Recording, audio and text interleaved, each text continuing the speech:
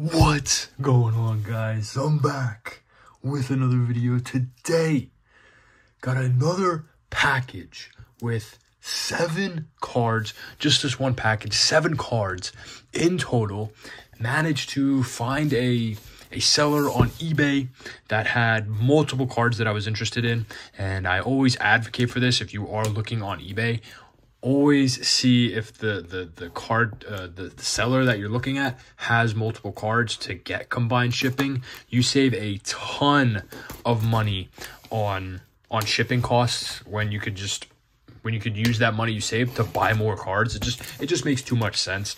Like i said seven cards in here and i think the shipping was five bucks. So if i paid five dollars on each card i essentially saved thirty dollars on on shipping, which is a lot of money in in cards. So this package is so tight. Oh my god.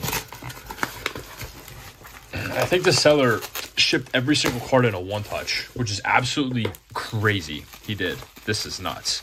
This is nuts. All in Pro-Molds as well. Pro-Mold.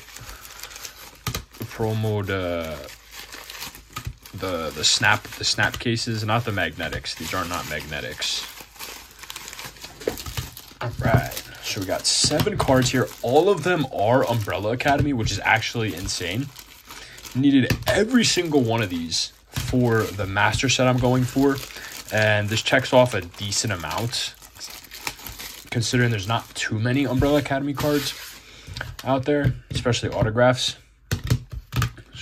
that, that, that. All right, so we got one, two, three, four, five. Yes. All right, so starting off, we have Kris Holden-Ried. This is Axel from the show. This is from one of the expansion packs. All the autographs that look like this are from expansion packs. I'm not sure which which certain one this is. There's there's an ex- expansion pack two and expansion pack three, and then there's one as well. So yeah, we got Kris Holden-Ried there. We got Matt Biedel. I actually have another autograph of him, but the, the, the other version. So I believe I have both now with the addition of this one.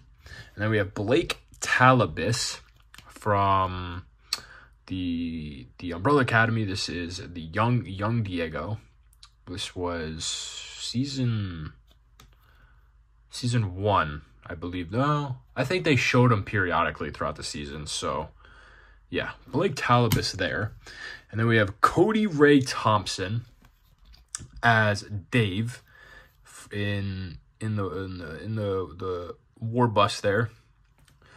Was that from season two or three? Some of these I just I have no idea. But we have another young Umbrella Academy member here. We got Ethan Hwang as young Ben. So you got Young Ben there. I think I have another one of these as well. So this might be number two for that. And then we have Rainbow Sun Francks as Detective Chuck Beeman. Nice, crazy autograph there. I'm not going to lie. Crazy autograph there. And last but not least, we have Dante Albidone.